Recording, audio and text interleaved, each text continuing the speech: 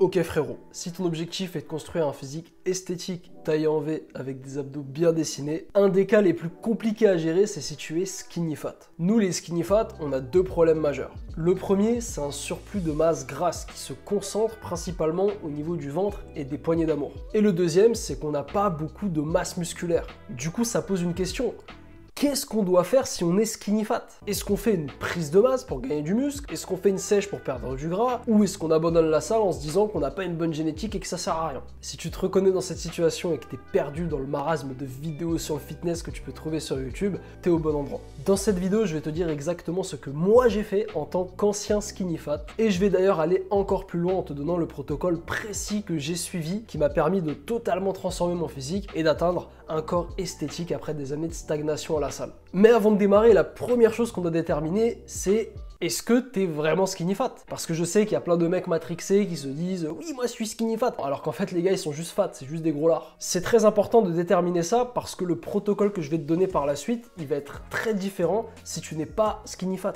Et pour le déterminer, c'est très simple. Quand tu mets un t-shirt de taille classique, donc pas un truc moulant, pas un truc oversize, hein, vraiment un t-shirt normal, si la plupart des gens qui te voient te disent que tu as l'air mince ou que tu as l'air maigre, eh bien tu es skinny fat skinny à l'extérieur, mais quand t'enlèves ton t-shirt, eh bien là, on voit que t'es fat. Au niveau de ton ventre notamment, il y a du gras, il y a des poignées d'amour qui dépassent. Tu peux aller le faire dès maintenant avec tes parents, ta meuf, tes potes, je sais pas qui. Car si tu es bel et bien skinny fat, reste sur cette vidéo. Je vais te dire exactement ce que tu dois faire pour te construire un physique masculin, esthétique et attirant. Et tu dois te demander, mais Samy, pourquoi je t'écouterais toi et pas un autre gars sur YouTube? Gros, j'ai fait absolument toutes les erreurs possibles et imaginables en tant que skinny fat. En commençant par la première, faire une sèche.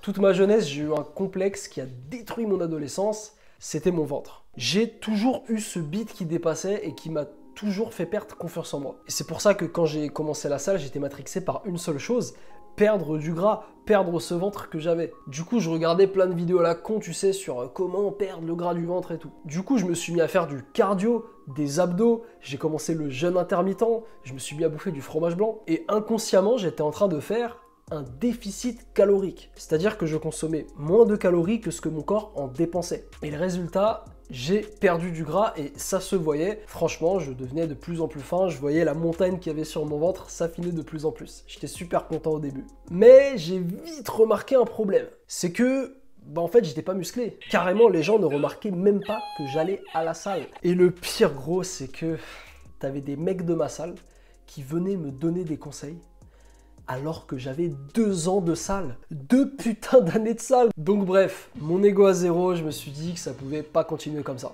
Du coup, après avoir regardé des centaines de vidéos sur YouTube, je prends une grosse décision.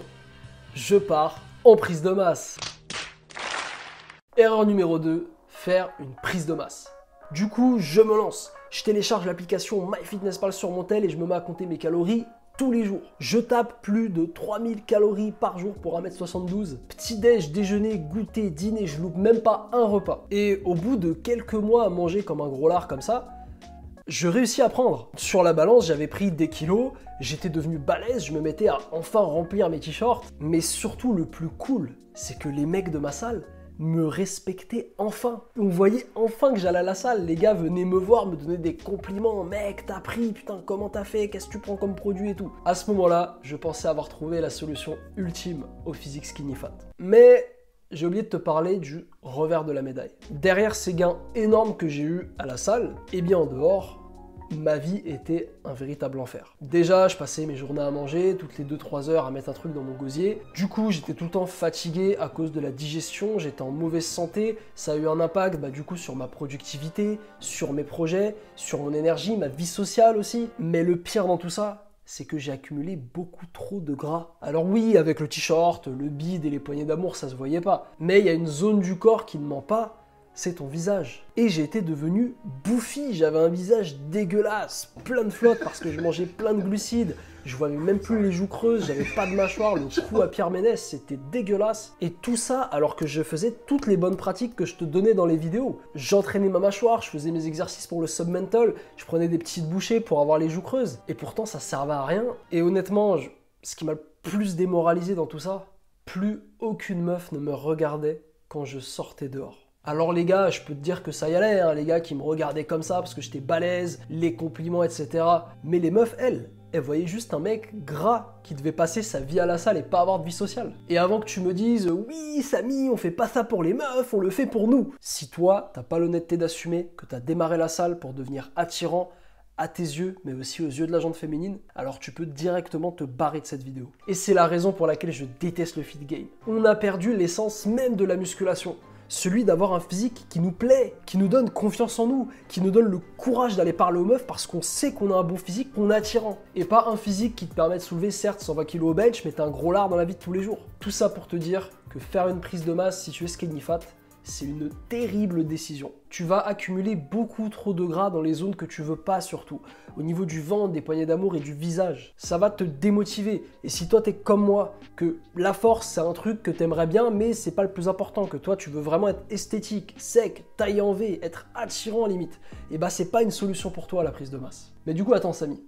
si je dois pas faire de sèche et pas non plus de prise de masse, qu'est-ce que je dois faire concrètement? Eh bien mec, il y a une troisième option qui est très peu discutée, mais qui est celle qui a tout changé dans mon physique. Cette solution, c'est la recomposition corporelle.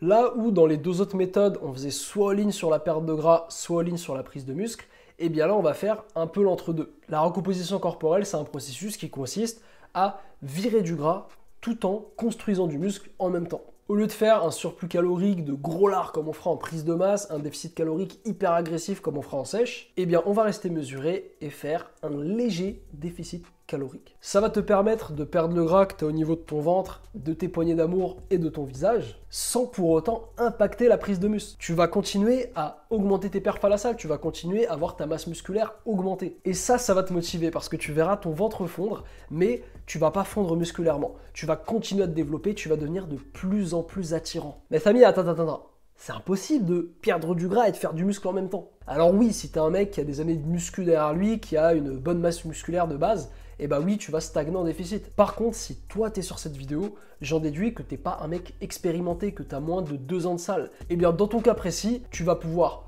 construire du muscle, progresser à la salle au niveau de tes charges, tout en perdant du gras. Et comme promis, je vais te donner le protocole exact que tu peux suivre. Je l'ai appelé le protocole Apollon. Première étape, tu vas calculer ton total calorique de maintenance. C'est l'énergie dont tu as besoin au quotidien pour ne pas bouger au niveau de ta masse graisseuse. Étape numéro 2, une fois que c'est fait, tu vas prendre ce total que tu auras obtenu et tu vas lui enlever 300 calories. Pas plus, pas moins. Et puis enfin, étape numéro 3, tu vas consommer ce total de calories de déficit tous les jours jusqu'à ce que tu atteignes ton body fat de rêve, normalement aux alentours des 10 à 14%. Ce protocole est surpuissant, car il va te construire ton physique avec très peu d'efforts. Moins 300 calories, c'est suffisant pour quand même se faire plaisir, quand même bien manger. Et je te promets qu'il te donnera les meilleurs résultats que tu as jamais eu depuis que tu as démarré la muscu. Mais maintenant, je sais qu'il y a sûrement des questions que tu te poses. Est-ce que tu es vraiment skinny fat Parce que je t'ai fait le guide, mais peut-être que t'es pas forcément sûr. Et c'est important parce que si t'es pas vraiment skinny fat, bah comme je t'ai dit, le protocole, il va pas marcher pour toi et t'en faudra un totalement différent. Au niveau des calories, bah sur les sites internet, t'as sûrement dû voir, il y a beaucoup de bullshit de sites de merde.